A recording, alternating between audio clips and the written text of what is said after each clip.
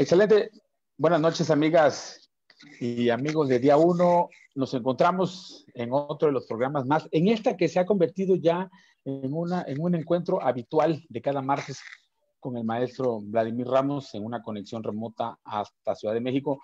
Maestro, bienvenido, buenas noches. Gracias, como siempre, por darnos la oportunidad de redondear nuestros temas pendientes.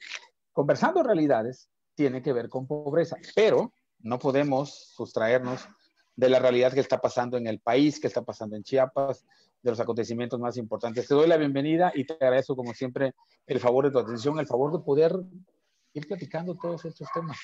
Bienvenido, buenas noches. ¿Qué tal, Miguel? Muy buenas noches. Muy buenas noches a todos los que nos están viendo a través de las redes sociales de Día 1. Un gusto estar aquí con ustedes. A tus órdenes.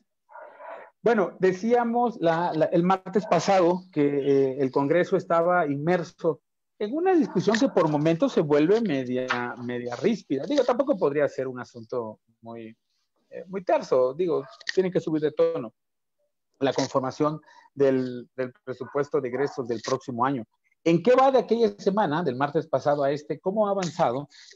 Leíamos eh, algunas referencias de los casi 6 billones, un poquito más, un poquito menos, de los 6 billones que va a ejercer la federación eh, el próximo año. Eh, los componentes de la seguridad eh, que se vinculaban más a la creación de la Guardia Nacional, los programas de desarrollo social del, del presidente que quedan, que quedan este, intactos, quedan salvos, educación que queda con los, bueno, hasta el martes pasado que queda con los mismos términos, los, los mismos presupuestos, como, como en el PEF, en el PPF, que se llamaba la semana pasada, eh, seguía estando el incremento sustancial en el tema de, salud, por obvias razones. Pero pues que nos dieras eso, ese pequeño contexto de qué ha pasado del martes anterior a este, cómo ha avanzado, si la discusión no se ha estancado, dónde han estado los, los, este, pues, los principales puntos de, de, piedra de toque, de conflicto, de discusión, de análisis de parte de los legisladores. Por favor, maestro. Claro. Bueno, lo, primero que tenemos que tener en consideración es que acordarnos que el paquete económico está compuesto por la ley de ingresos, que es una que aprobarlo es facultad tanto de la Cámara de Diputados como de la Cámara de Senadores. Se tiene hasta el día de hoy para, como fecha límite que marca para aprobar lo que es 20 de octubre eh, en la Cámara de Diputados y después tiene que pasar a la Cámara de Senadores. La Cámara de Senadores hará lo propio. De no encontrarle mayores cuestiones, se turna para publicar, al Ejecutivo para publicación en el diario oficial. Y después viene el presupuesto de ingresos. Y eh, la, la, vez pasada les decía, es que cuando se habla del paquete económico, se suele ir uno con lo más, eh, con lo más vendible, con lo más rápido, es cómo vamos a gastar lo que, lo que eh, eh, el próximo año. Y yo soy de las personas como, como analista de estos temas, como alguien que está inmerso en el tema legislativo, como alguien que, que estudia el, el, el presupuesto de, de ingresos, la ley de ingresos, es que es algo muy sencillo. No puedes, no puedes planear gastos futuro si no tienes ingresos presentes. Entonces, lo que se ha estado discutiendo desde el día de ayer en la Cámara de Diputados, que en esta ocasión creo que la Cámara, los grupos parlamentarios inician con un con tiempo.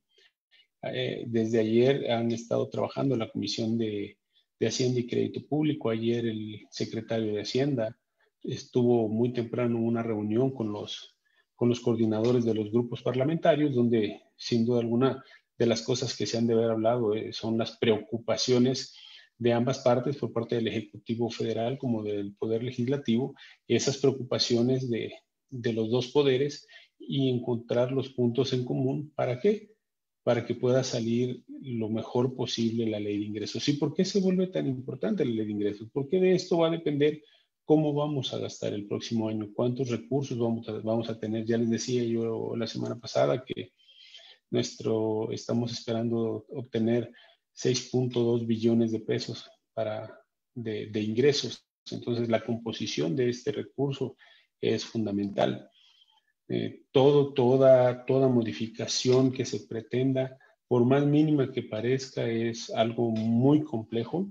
Entonces, ha sido, ayer se, se aprobó eh, del, se aprobó la ley de disciplina financiera para entidades y eh, federativas y municipios y se aprobó en lo, en lo general, se alcanzó a aprobar en lo general lo que fue la Ley Federal de Derechos, que ya hoy por la mañana terminó de destrabarse ese tema.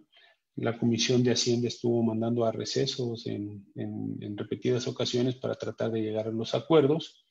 Y bueno, en este momento, si ustedes sintonizan el, el, canal, del, el canal del Congreso, se está hablando ya sobre la miscelánea fiscal y posteriormente vendrá la ley de ingresos de la federación. Hay que, hay que tener en cuenta lo siguiente, y es que la ley de ingresos se compone por la ley federal de disciplina financiera, la ley federal de derechos, la miscelánea fiscal y la ley de ingresos.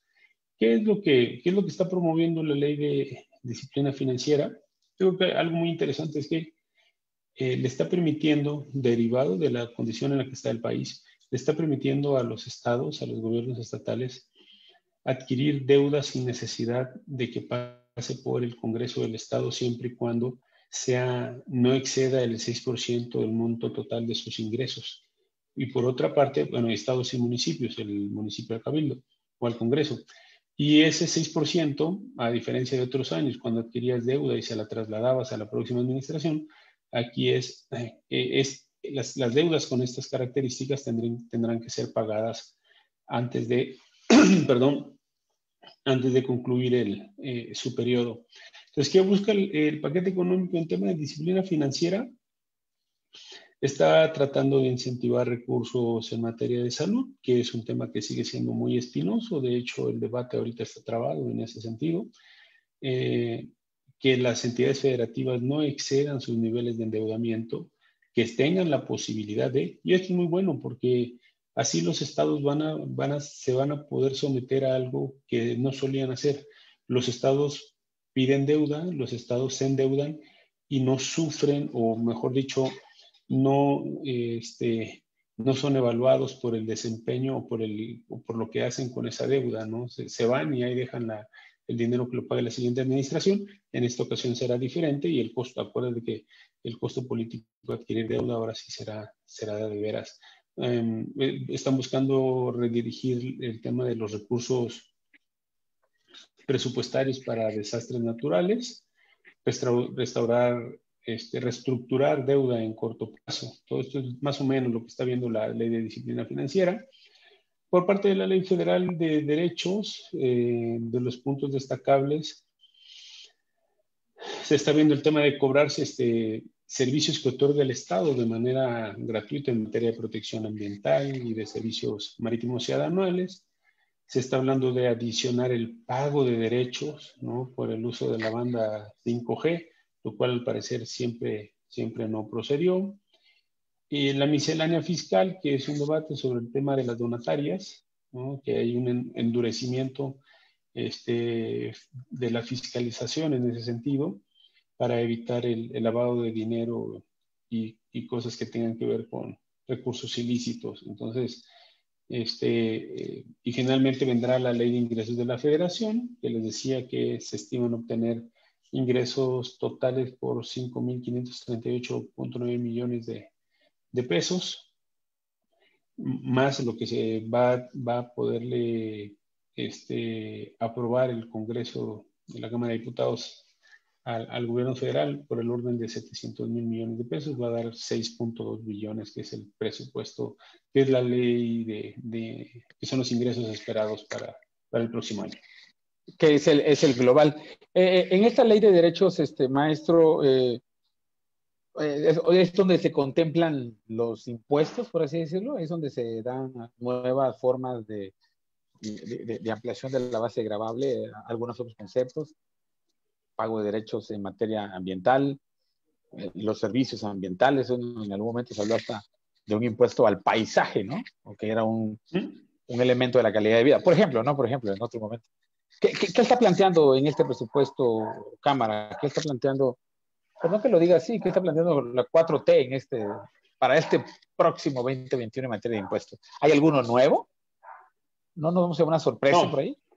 ¿Combustibles? No, de hecho, de hecho, en su momento se habló de eh, incrementar, decían, ¿se acordarán que hubo un momento a principios del primer trimestre del año que el petróleo estaba casi en cero pesos, ¿no? En cero dólares, era, sí, sí, sí, Te, lo, te lo regalaban. Entonces, la gasolina bajó. Entonces, aquí, cuando baja la gasolina y el, el IEPS se reduce, cuando el costo de la gasolina es mayor, pues el, el impuesto a la producción de bienes y servicios se incrementa. Entonces, estaban intentando meter un, un candado ahí que le generara contención, es decir, no importa si el barril de petróleo este, llega a estar como estuvo anteriormente y la gasolina llegara a bajar por cuestiones de, de, orden internacional, este, aquí en México no bajaría y, ese, y esa contención le permitiría al gobierno adquirir, este, obtener recursos. Eso fue descartado. Creo que los grupos parlamentarios, incluido este, eh, Morena, PSPT, yo creo que los demás partidos también se fueron por el tema de, no, de no gasolinazos y demás. Entonces, eso ha sido, no va a haber nuevos impuestos, eso sí es algo que se ha, se ha planteado muchísimo. No, no, además, si lo vemos así, partiendo desde la óptica del presidente de la República, que ha sido consistente, no sé si congruente, pero consistente al menos en su política, de no, no, no habrá sorpresas en ese, en ese sentido.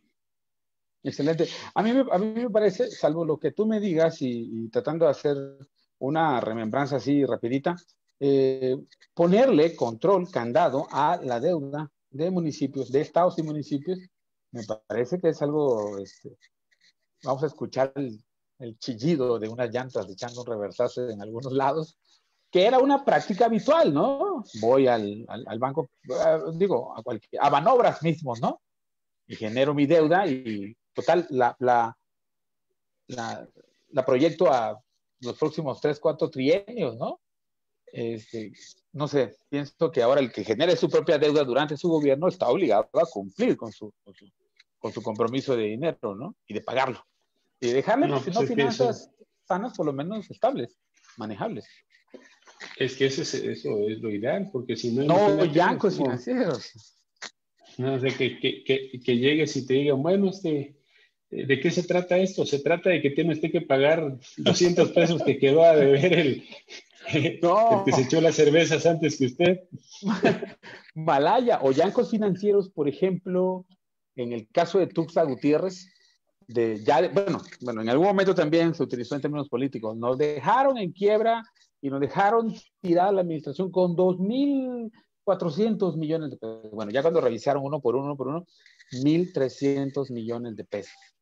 Uno yanco financiero que, digo, no hubo en su momento esa, esa, ese criterio, esa disciplina fiscal de decir, a ver, si haces deuda, la cubres, ¿no? O sea, proyectala para que puedas resistirla. Sí para que hagas obras, sí para que inyectes inversión en tu municipio, pero sí para que la resuelvas también, no para que le dejes problemas al que viene, ¿no?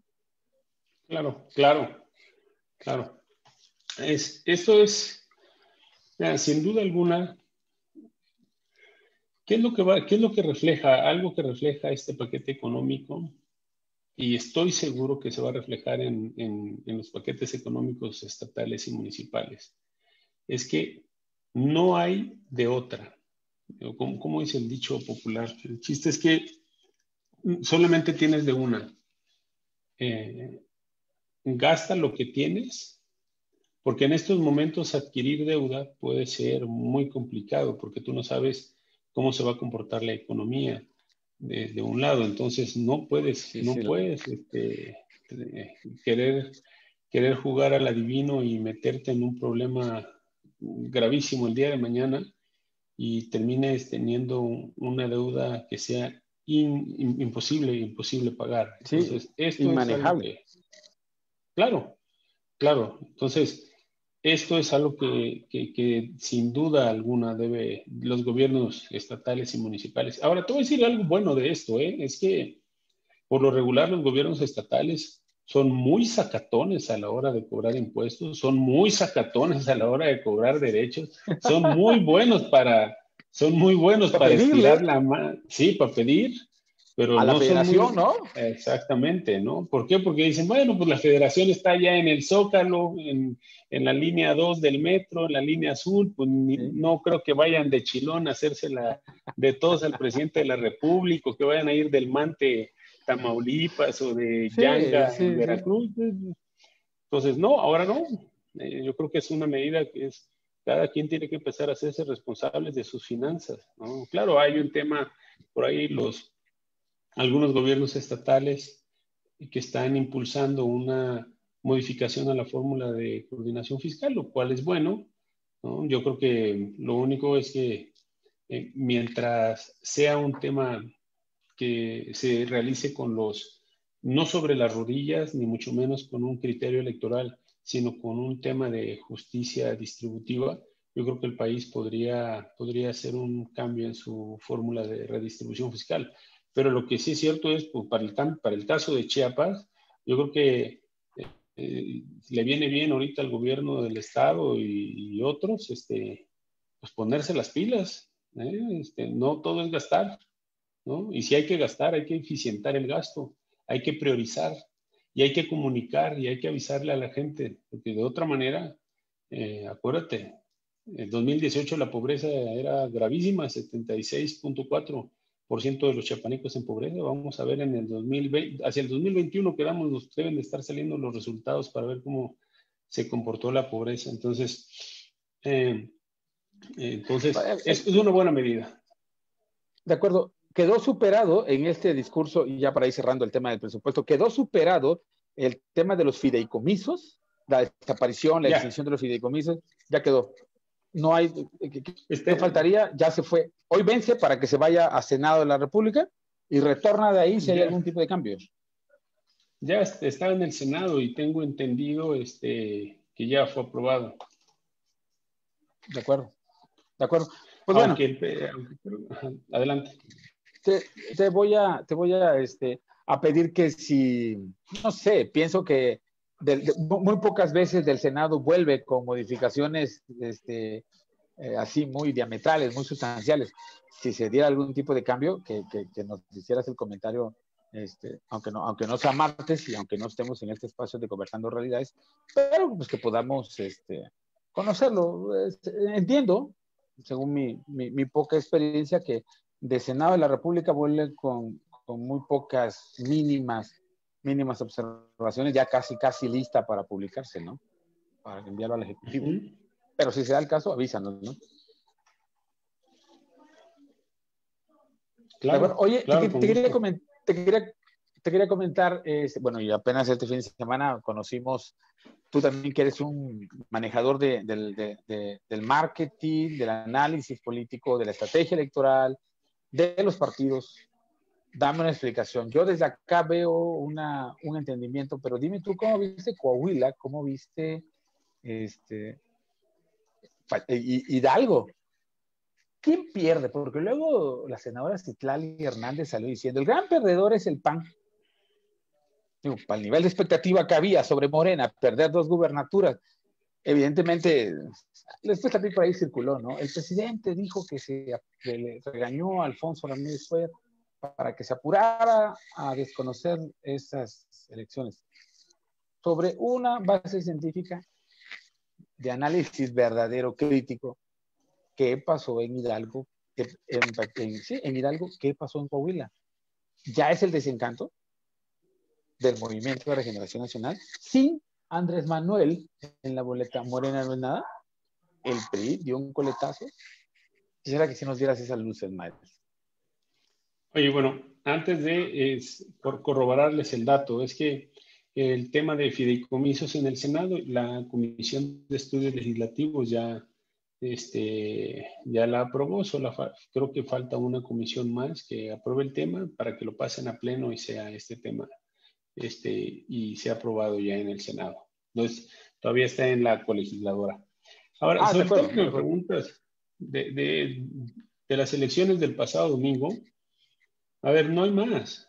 No hay que buscarle, no hay que encontrarle explicaciones. Decían en mi pueblo, de que se buscaban, se encontraban los pretextos, pues nadie. Se acabaron, usted. Exactamente. Correcto. Se, acabaron. Pero no, es muy sencilla. Dilo, no dilo, dilo, dilo, no tengas pena. No hay, que, no hay que quebrarnos la cabeza, la verdad. El gran perdedor se llama Morena, no hay más. ¿no? Tan, pero el gran, el gran ganador no es el PRI tampoco, en, los términos como salió el presidente de su partido, Alejandro Moreno, con este, este, con esta voz tan, este, tan eh, echada para adelante de que el PRI está recuperando la confianza. No, eso es mentira. Eh, no es como tal. Eh, no, no es como tal. El gran perdedor es Morena y lo que Morena refleja es algo de mucha sustancia, no es menor. Es decir, Morena pierde porque no tiene dirigencia. Y no tiene dirigencia nacional, por lo tanto, las dirigencias estatales no tienen mayor poder de decisión, no tienen la capacidad de conducción política. Un partido sin dirigencia es imposible de competir. Eh, su, militancia, sus candidatos podrán hacer el esfuerzo propio, pero fuera de ello, para eso hay dirigencias partidistas. Y Morena yo creo que le va, a tomar un rato, le va a tomar un ratito aún este, definir su situación y una vez que la haya definido de, eh, de es decir, legalmente, eh, llegar a los famosos, este, a lamerse las heridas, las operaciones cicatriz, le va a costar porque han, han sido muy desaseados en, en, cómo han procesado su proceso interno, que es algo fundamental. Un partido que es incapaz de llevar de, de, la mejor manera posible y transparente el proceso de selección de su dirigente, te está diciendo que no tiene la más mínima intención de hacer de su partido un órgano democrático. El tema de las calificaciones no me asustan ni nos deberían de asustar, pero lo que nos debería de llamar la atención es que las descalificaciones en un partido que está tratando de construirse una imagen fuera o independiente o alternativa de la figura del presidente de la República, yo creo que no lo está consiguiendo. Eso, no lo está logrando. Eso es, no, y no lo va a lograr en, este año. Entonces, el próximo Morena va a estar, va a tener problemas, este, eh, el Movimiento de Regeneración Nacional. El año electoral 2021 ya inició, hacia finales de, este noviembre, según ya deben de estar. Eh, hay mucha gente en, en, en que ni qué pero hay que ordenar y eso no lo veo. Ahora, que si eh, los 16 distritos de Coahuila los ganó casi todos el PRI y que apabulló, pues bueno, no me extrañaría, Coahuila pues es la tierra de los Moreira, ¿no? Y no ganaron por ser muy buenos, ¿no? Es, yo no le, yo no le, no le daría mayor este, eh, eh, reconocimiento. Yo creo que al contrario, habría que revisar si estuvo presente el, este, el exgobernador Moreira, que hoy es diputado, a ver cuántos, cuántas, cuántas sesiones estuvo presente y si no anduvo atendiendo allá las elecciones. Yo no, yo no vería que es el, es el gran ganador. Sí, yo no, no. Pierde, pierde, pierde Coahuila, eso sí, y pierde Morena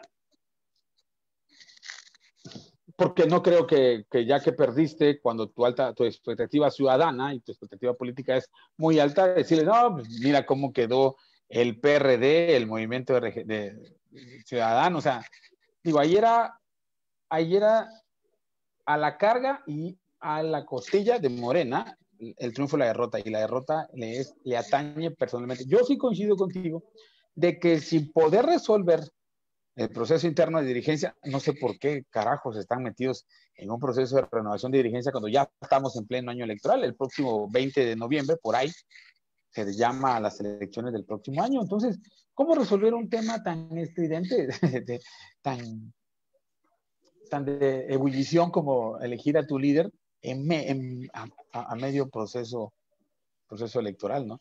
Bueno, pues es que no es que yo no, no, no, Miguel, acuérdate que Morena lo debió haber hecho desde hace mucho tiempo, pero Morena no, Morena no quería, y es lo que te decía, cuando estás al frente de un instituto con creo que más de mil millones de pesos, pues como que no, no te hace muchísima gracia este, dejar ese dinero en manos de otro, ¿no? Si me lo puedo gastar yo, pues me lo gasto yo, yo creo que es lo que estaban, lo que estaban viendo, mira, te voy a decir, tan solo en octubre Morena recibe 135 millones de 135 millones de pesos, 162 mil 540 pesos. Para noviembre va a recibir 126 millones 582 mil pesos y para diciembre 130 millones. No, hombre, imagínate, está, quiere decir que están casi 400 millones de pesos los que va a recibir solamente de octubre a diciembre. Si eso fuera una constante, estás hablando de eh, 1.200, más de mil, casi 1.500 millones de pesos, lo que te decía, ¿no? Casi 1.500. Un partido millonario. Mucha, millonaricísimo, dijéramos por allá. No, no, no, eso de que la austeridad en ese partido no lo entienden. ¿Se acuérdense? Morena había dicho que iba a donar sus recursos para la reconstrucción y a atole con el dedo, no lo hicieron nunca. De acuerdo. Se olvidaron de, de, la gente, del territorio, de, de gobernar, de escuchar, de sentir lo que la gente... Y se enfocaron en los mil millones de pesos que tiene de prerrogativas, de recurso público. O sea, ahí vemos el distanciamiento y estamos ante, estamos en esta elección como, no como parámetro, pero sí como, como aviso de carretera que va hacia una debacle va hacia un impacto del 2021 fuerte a perder una mayoría, pienso. Pues mira, es muy probable que pierda la mayoría simple, ¿eh? es decir, te voy a decir por qué. Porque en el 2018 tampoco la ganó en las urnas, es decir, con todo y que traían al presidente Andrés Manuel López Obrador, no lograron 251 diputados, o sea, no, no, no lograron tener la mayoría simple, la, la, construyeron a través de acuerdos, entonces, lo cual es, este, es algo que debería, yo pienso que es algo que debería ser legislado. Lo que no ganaste en las urnas no lo puedes obtener en el acuerdo político, porque entonces estás yendo en contra de la decisión ciudadana. Si la decisión ciudadana dijo, van cinco del partido A, tres del partido B, cuatro del C y tres del E, no puedes llegar y adentro ya los del A se van con el B, ya hacen otro grupo. Sumar con B. Sí, porque aunque, aunque, la Constitución te dice salvaguarda la libre asociación y demás, yo creo que te estás pasando por alto los derechos políticos eh, eh, y ciudadanos. La, Acordémonos que la soberanía nacional reside en el pueblo y la soberanía se emite en un voto y te está diciendo cómo debe de estar conformado el Congreso y que de repente llegues al Congreso y tú lo, lo pintes a tu antojo, pues ahí estás rompiendo. No, pues quédate en tu partido y vótale, vótale todo lo que tú quieras al otro, pero no construyas mayorías artificiales. Eh, Vladimir, eso también daría una señal de aviso, eso también daría un punto de esperanza para que Morena no tenga esa mayoría absoluta en el 2021 y en tanto y por lo tanto no pueda tener eh, la tentación, le voy a llamar, de violentar, de quitar, de superar los controles constitucionales. Y pienso en que si llegan los verdaderos AMLovers, los que no, entraron en el 2015, el 2018, estén preparándose para el 2021 y tengan una mayoría que diga, somos mayoría calificada con posibilidades de cambiar la constitución y queremos que nuestro presidente, no sé, se reelija, se amplíe el mandato. había un riesgo, ¿no? Ha visto también desde el exterior en esas teorías de la conspiración de que si tenía la mayoría plena, total, absoluta, calificado o, cual sea el término, de que pudieran modificar los controles constitucionales y dejaran de Manuel otro parcito de sexenio, lo cual a mí también se me hace muy paranoico, pero bueno, viendo que no les fue tan bien en esta elección, a la cual se está, montando toda la oposición, logró, esa es otra pregunta que me surge en el, en el camino, ¿logró la oposición y me refiero a PRI, a PAN, a PRD, minarle el discurso, empatar, o fue una verdadera, la elección de domingo en Coahuila y Hidalgo, un verdadero arrojadizo de lodo al ventilador, porque me pareciera que lograron hacerle mella, abollarles la corona, que tragaron un poquito de agua a la canoa, su barco, y que no se fueran tan libres como lo habían planteado, como lo habían ideado, ¿no? Para llegar al 2021 con esa, con esa mayoría y en el 2022 pulsar nuevamente el ánimo, el, ánimo social y hacer la clásica pregunta, ¿quieres que se quede o no quieres que se quede? No, pues que se quede. ¿Ya vieron? Quieren que se quede. Y esa, esa legislatura poder hacer esos cambios constitucionales. Digo, es parte de la paranoia de lo que observamos desde Chiapas, pero pues sí nos interesa mucho conocer cómo lo ves desde allá, cómo se ve desde el centro del país. mira, yo lo que te diría es que no, yo no creo que la oposición hoy en día este, represente algo sumamente, represente un frente sumamente fuerte. Creo que en estos momentos el principal obstáculo, el principal problema de Morena se llama Morena y, lleva el riesgo de, o lleva el riesgo de correr la misma suerte que corrió el PRD. La falta de, eh, el no querer entender que la vida está, para la vida hay reglas, ¿no? Es, es algo que este, trae sus consecuencias. Entonces, Morena tiene que entender que debe respetar sus reglas, sus documentos, sus estatutos para poder este, continuar. Y los demás partidos tienen que entender, mira, decía, decían por ahí que lo que puedes hacer es hacer las cosas este, una y otra vez de la misma manera y esperar resultados diferentes. La oposición sigue empantanada en un discurso falto de emotividad, en un discurso que no se preocupa. Mira, a ver, ¿Qué fue lo que perdió? ¿Qué es lo que perdió la oposición? Y se me están escuchando los dirigentes del PAN, del PRD, este, de Movimiento Ciudadano del Estado de Chiapas o de municipales, del PRI de, tu estado, del Estado de Chiapas, de tu estado, ay, ¿qué tal yo? del Estado de Chiapas. Sí. Lo que les diría es que perdieron el factor más determinante en las contiendas electorales.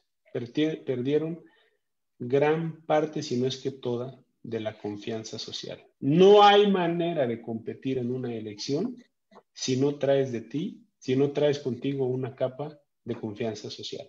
Cuando el presidente Andrés Manuel les dice que la oposición está moralmente derrotada, no se refiere a que eran un árbol de moras y lo talaron y se cayó. No, no claro. A lo que se refiere el presidente es que la confianza no la tienen, se la quitó la ciudadanía.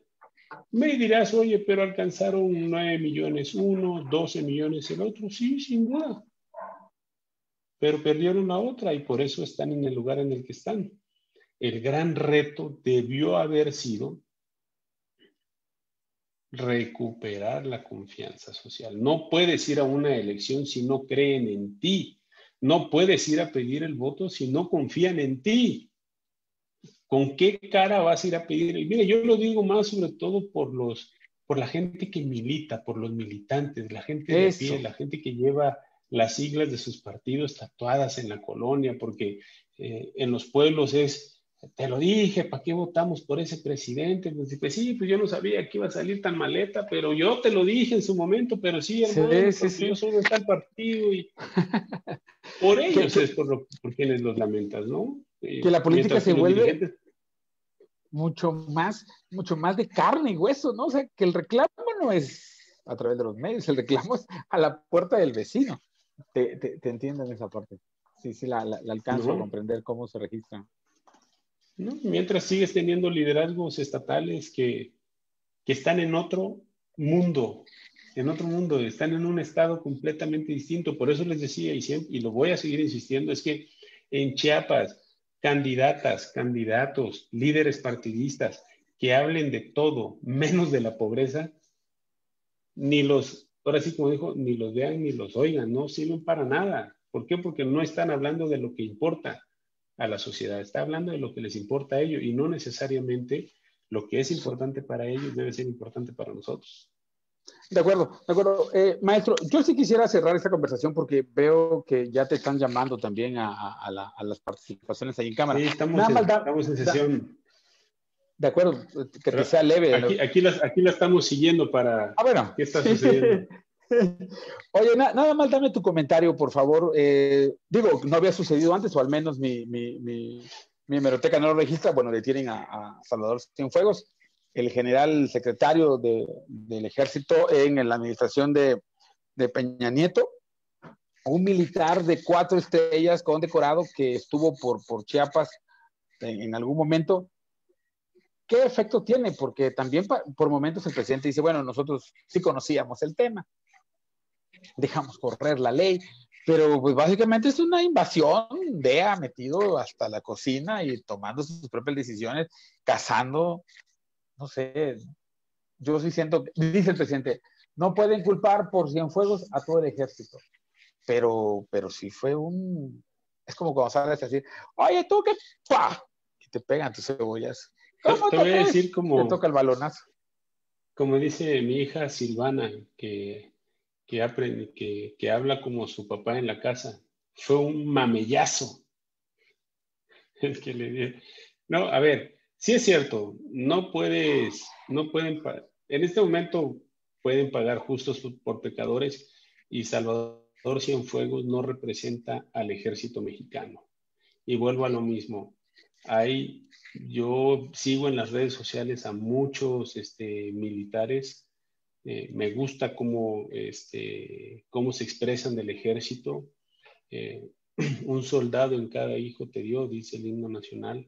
Entonces, no creo que Cienfuegos represente en su totalidad, ni en un porcentaje considerable, el, el amor por, por, el país o la entrega por el país por parte de, de, los militares, de los soldados. ¿no? ¿Qué sí representa Cienfuegos? esa corrupción de años, esa corrupción que ha ido eh, enraizándose, enquistándose al interior de, las Fuerzas Armadas.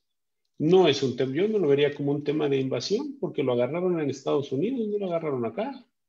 y está siendo procesado, está siendo procesado por delitos que tiene que responder allá, ¿no? Le negaron la libertad condicional, probablemente se vaya, se tenga que ir a, a, la corte a Nueva York y corre la misma suerte que Santiago Luna y demás. Mira, es un tema muy difícil porque, y lo digo así a todos, cuando se nos pregunta este tipo de temas, son escabrosos, da temor opinar. Pero luego lo que te puedo decir es que eh, los que tengan que caer para que este país tenga un mejor presente, un mejor mañana, que caigan. Si detrás de Cienfuegos vienen más militares, que caigan. Hay más militares detrás de ellos buenos, hay más militares detrás de ellos con muchas ganas. No puede volverse tampoco una cofradía de, camaradería. El ejército no puede ser así. Se entiende el tema de grupos, el tema de este, compartir intereses y proyectos. Pero el ejército mexicano, hasta donde yo me quedé, es mucho más que eh, cuatro estrellas, cinco estrellas, ¿no? El ejército no lo hacen ellos.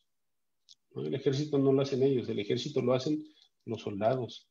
Esos soldados que todos los días, ni siquiera, este, eh, veamos este tipo de comparación, tan valioso el soldado que arriesga su vida en una inundación por salvar a, un, a una niña, como tan valioso el soldado que arriesga su vida este, combatiendo al crimen organizado. El ejército es mucho más que ellos. Y mientras los mexicanos tengamos eso en mente, no, podemos, no podemos expresarnos del ejército por la acción de 100. Los elementos del ejército son muchísimos. Es como decir que los, todos los mexicanos somos tranzas y corruptos. No se va. No, pues no, no, pues no va. De acuerdo, maestro. Pues, pues, muchísimas gracias. Siempre es este para nosotros aquí en día uno eh, enriquecedor conocer una perspectiva. Luego, luego, como dice Eldras, tenemos una perspectiva aquí, una perspectiva más, dice Eldras, aquí en, este, en Chiapas, y, y bueno, a veces no, no empata, y, y, conocer, o al menos está un poco distanciada, ¿no? Está un poco llevada al extremo hollywoodense. Siempre es bueno puntualizarlo, conocer opiniones, cómo se está viendo allá en el centro donde está el poder ciertos temas. Yo te agradezco, te, te pido que nos veamos el próximo martes y si podemos hacer otro corte de cómo va el presupuesto, ya perfilándose en este mes de, octubre, este, ¿cómo, ¿cómo volvería de la Cámara para el próximo martes, creo? No, faltarían dos martes más. Pero bueno, ¿cómo va la discusión? A ver si no se mueven algunos otros números, a ver si no se mueven algunos otros este, sectores para hacer otro corte de caja y para irle dando seguimiento. ¿Algo con lo que quiera cerrar, maestro? ¿Algo con lo que, no haya yo preguntado? Simplemente es que no se nos olvide los grandes problemas o el gran problema de Chiapas es la pobreza. No se nos olvide salir de la situación en la que estamos, salir de la situación en la que están miles de familias, no va a depender de los políticos, va a depender más de lo que la capacidad de organización social este, disponga. Y no se requiere salir a las calles, no se requiere la toma de carreteras, no, se requiere salir a votar y darle su merecido en el voto a quien no se merece ni se mereció el voto que se emitió por ellos. Hay que castigar, hay que darles, darles con todo. Ya vimos cuánto dinero tienen los partidos políticos, ¿eh? todos, todos ganan. No, no, no, no, no había yo caído en esta perspectiva de los mil millones. Nada más déjame leerte algunos comentarios para mandar saludos también. Eldra Jonathan, qué gusto verlos de nuevo, dice, te mando saludos. Pregunta, dice Eldra, ya para ir cerrando, maestro, ¿qué tan factible es inyectarle tanto presupuesto a Pemex? ¿Cuál es el punto de vista sobre que se pongan el aumento de a las remesas como logros de la actual administración? Dice Eldras. A ver, ¿me repites otra vez la pregunta? Otra vez, por favor. La, primera, es, la primera es, ¿por qué inyectarle dinero a Pemex? ¿Por qué tanto dinero? 700 millones, algo así. Por ahí, no, no, no, lo tengo fresco, pero... Y luego dice, ¿cuál es, el, ¿cuál es el punto de vista tuyo, por supuesto, sobre que se ponga aumento a las remesas y se ha puesto esto como un logro de la actual administración? ¿Hay algún impuesto a las remesas, el envío de dinero desde el extranjero? No, a ver, lo primero es que sin duda, a ver, eh, este tema de los ingresos este, vía eh, tema energético, es que para, para cierre de 2020 se estima que van a ser como 15% menos de lo que se había planteado. Y para el 2021, la ley de ingresos estima que por el concepto de energéticos, México estará ingresando alrededor de 1.300 millones de pesos. Ahora, ¿cuál es el tema aquí? Es que la situación financiera de Pemex no es la mejor. Es la empresa más endeudada del mundo. ¿no? La empresa petrolera más endeudada del mundo. Eh, ¿Y eso a qué obliga? Bueno, es que va a requerir mayores transferencias del presupuesto. Eso sí es muy probable. Se está estimando que Pemex pueda llegar a una producción de 900 mil millones de, de, pesos. sea, desde que entró eh, esta gran transformación administrativa que se planteó de Pemex era para darle viabilidad o al menos sostenibilidad sin embargo, este, sí es un tema Pemex este, que traemos. Eh, paga, paga, para que nos demos una idea, Petróleos Mexicanos paga muy por arriba las tasas para atraer capitales. Es decir, para que a Pemex le presten dinero, Pemex te tiene que decir, oye, ¿sabes qué? Te voy a pagar el 20% por cada 100 que me prestes. No, no, no, no, no, es muy poquito. Bueno, te voy a dar 30 por cada 100 que me prestes. Esa es la situación real de, real de Pemex. Y el tema de, el tema de las remesas, el tema de las remesas, yo lo que les diría es que eh, se han mantenido altas porque en, en, Estados Unidos ha habido programas de subsidios.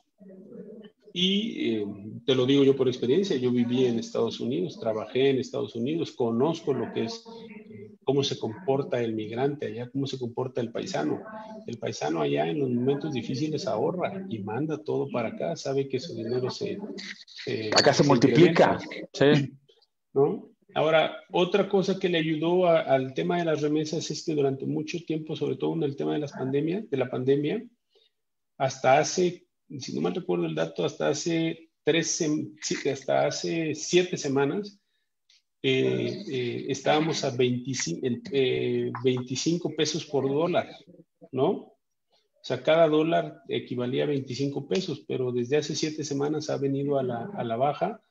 Hoy, hoy amaneció en, 21 pesos con 10 o 15 centavos, es decir, ha perdido, ha perdido fuerza el dólar frente al peso. Digo, todavía no estamos abajo de los 20, pero eso, también, eso también influye en, en, en el, el tema de las remesas. no es que se le cobre, no le puedes cobrar un impuesto a las remesas, lo que se cobra es la, eh, el monto al intermediario, ¿no? Western Union, el, el, Electra. Entonces, dice, dice Miguel Martínez, saludos a ambos maestros. Dice Nils GH, ¿será suficiente una definición de dirigencia para inhibir el canibalismo en Morena o tendrá que intervenir directamente el presidente? Lo dice por nuestro comentario de hace rato sobre Morena. Dice Santiago Altuza, el presidente no reconoce la derrota en esos dos estados, tanto en Coahuila como en Hidalgo. Dice un amigo nuestro, el doctor Luis Antonio Ramos, comentarios muy interesantes y analíticos que deben dar pie a los diferentes partidos a renovarse o morir. Dice Luis Enrique Pérez Jiménez, excelente análisis, maestro Ramos. Dice Lupita Esquinca, una amiga nuestra también. Saludos. Dice Luis Enrique Pérez Jiménez. Saludos desde Huehuetán, Chiapas, pueblo hermano, pueblo hermano entre Huixla, de, de y de Villa Comatitlán. ¿Será suficiente o será necesario ya que entre el presidente? Perdóname, ya con eso cerramos, Vladimir, te lo juro. No, no, no, hombre, pero por favor, ni siquiera pensemos en eso. A ver, a ver, yo les hago un, Ahora sí, como dicen, les hago un atento y cordial llamado a todos ustedes. No, la tribuna. ya en serio, a ver, si algo no podemos nosotros, no en este programa, no en este, en, este momento de interacción de ideas, donde lo que estamos tratando es ver las cosas desde otro punto de vista, no podemos permitirnos ni por asomo que, pase la idea de que el presidente, presidente de la República ponga orden en Morena, pues estaríamos regresando a los 40, 50, 60, 70, 80, 90, de cuando el presidente del PRI decía orden y se hace esto. No, no, yo Vladimir, no. Vladimir, fue el presidente desde la mañanera quien dijo, háganse las encuestas para definir dirigencia. O sea, discúlpame, tal vez no mandó un oficio, ¿no? Señor Ramírez Cuellar Solís, pero, pero reconozcamos los que o entra el presidente y les pone orden o siguen como gallinas sin cabeza. Esa es como que la lógica. Pero, eh, pero fíjate, a lo que voy es, no es lo que el presidente le diga a su partido, es que nosotros como ciudadanos estemos en una expectativa de que, no, hombre, es que el presidente debe poner orden en Morena. No, tenemos aquí metida la idea del presidencialismo, ¿no? Del... Claro, no. El presidente lo que debe estar pensando es en sacar adelante este país, en salir de la pandemia, en la reactivación económica. Y Morena, que piense en cómo elegir, en ser democrático, en cómo respetar la democracia, porque como dijo nuestro, eh, ¿cómo decía? El filósofo guatemalteco, este, Ricardo Arjona, que la ah. democracia sea verbo, no sustantivo. Maestro, muchísimas gracias. Buenas noches, te agradecemos siempre que, que, este, que, tengas con nosotros la diferencia de poder analizar los temas.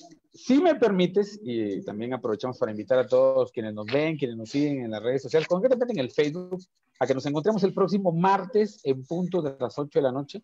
Hagamos un corte final de caja, bueno, de cómo va el presupuesto y sigamos platicando de todos estos temas que, que a México, que a Chiapas, que a los medios de comunicación nos importan, a los ciudadanos nos hacen bien y es importante hablarlo así, de viva voz y de frente, sin ningún tipo de compromiso. Hecho, hecho, con mucho gusto. La próxima semana seguramente la ley de ingresos estará en, en el Senado, pero les vamos informando. Un gusto, Miguel, un gusto a toda la audiencia, un fuerte abrazo y que eh, me da muchísimo gusto estar, estar nuevamente con ustedes en este, en este tipo de ejercicios. Un fuerte abrazo. Saludos a mi mamá, si me está viendo en el pueblo de, de Chiapas. pueblo maravilloso, combativo. Cuídate mucho, maestro. Nos vemos el martes. Hasta luego. Hasta luego.